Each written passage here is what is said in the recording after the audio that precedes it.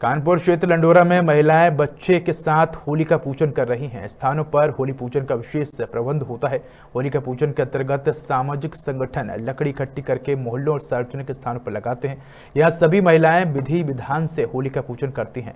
होली पूजन के बाद निर्धारित समय पर होली का दहन किया जाता है। पंडित रामपाल ने बताया कि होली का पर्व बुराई पर अच्छाई की जीत का पर्व है। साथ ही परिवार में बच्चों की दीर्घायु के लिए होलिका मैया से प्रार्थना करती हैं। होली का पर्व एक दूसरे की गलतियों को भुलाकर आपसी भाईचारे, प्रेम, सुहाद्र का पर्व है। कानपुर से सुशील कुमार झा की रिपोर्ट।